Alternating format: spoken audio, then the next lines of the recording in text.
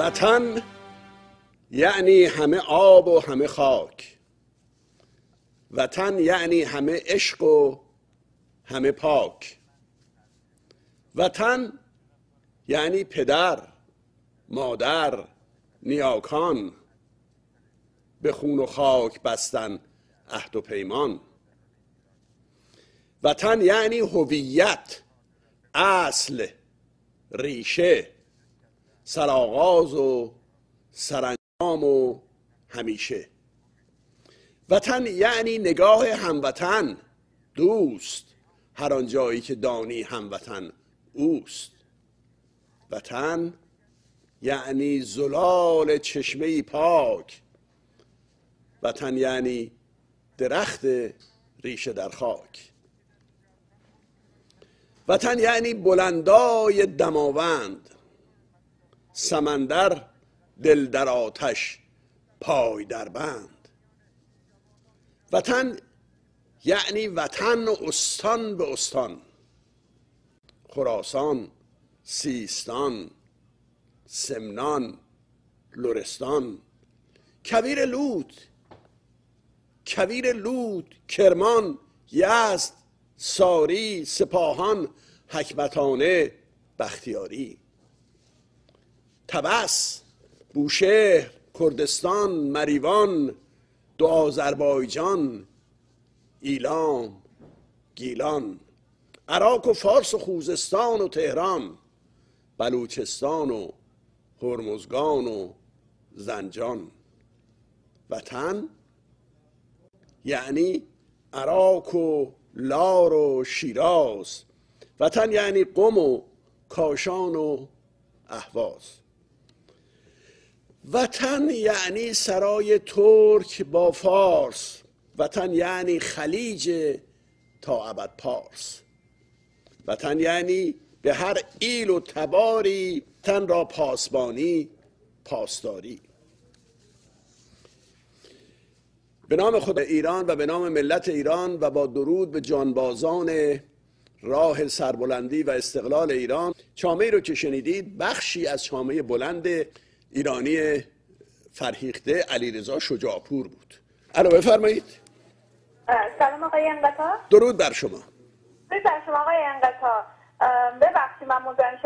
خواهش بخواستم از شما یک سوال بکنم. خواهش می‌کنم. من می‌خوام بدونم که در چه زمانی کردهای ترکیه از کردستان از کلا بیلان به ایران بود درسته یا نه؟ تمام کردها ایرانی خالص. بله. می‌دونم برام توضیح دادی چون یه بار خیلی عصبی بودم اینا.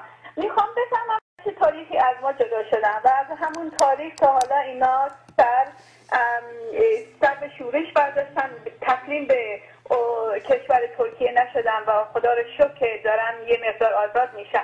و یکی کردهای عراق رو در چه دورانی بوده؟ چون من دارم به تلویزیون عراق نگاه می‌کنم.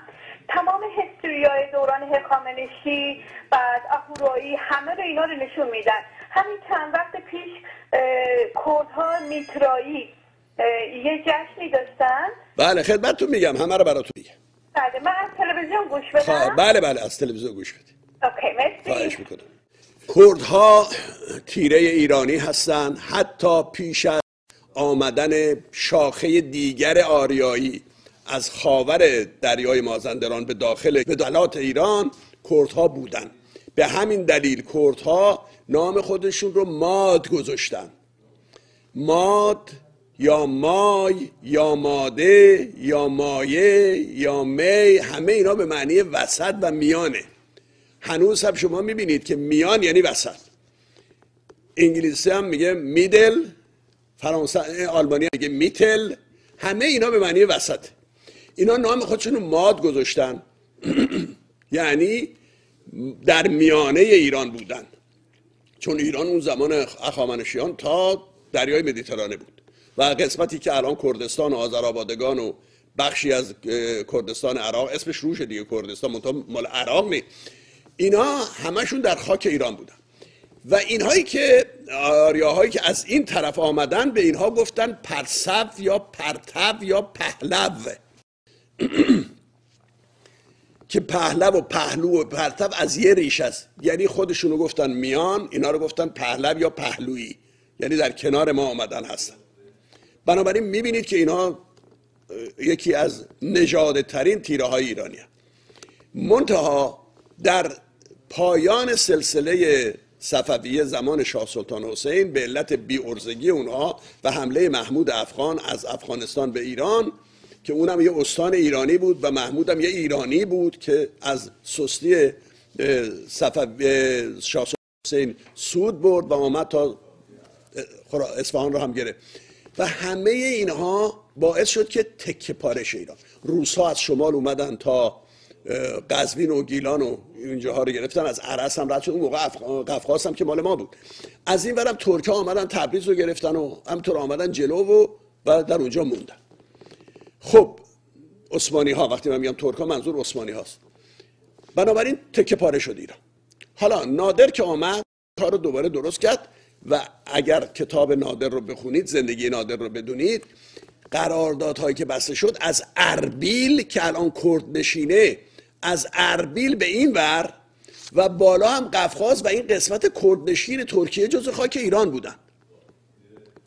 ولی وقتی که نادر رو کشتند و آقا محمد خان قاجار اومد دوباره این کار رو درست کنه و رفتش این بخش ها رو گرفت و در تفلیس مرکز تاجیکستان در اونجا کشته شد. ببینید دا اونجا پادشاه ایران می‌رفته. این بود که بعد از اون که دیگه استعمار آمد و داغون کرد اینجا و آخوندها پایه گرفتن و فرمان جهاد دادن با کشور روسیه و اون افتضاحات پیش اومد و قرارداد ترکمانچای بسته شد این مرزهای فعلی رو کشیدن. یکی از خیشان من در وزارت خارجه امریکا کار می‌کنه. ایشون رفته بوده در عراق در همین دو سه سال پیش. میگم در شمال عراق که رفتم نیازی به مترجم نداشتم فارسی حرف می‌زدم. تمام کردها فارسی حرف می‌زدن. پرچمشون هم شبیه پرچم ایرانه. وسطش هم به جای شیر خورشید خورشیده. ها چجوری خودشون رو نسبت بدن به ایران؟ دیگه از این بیشتر؟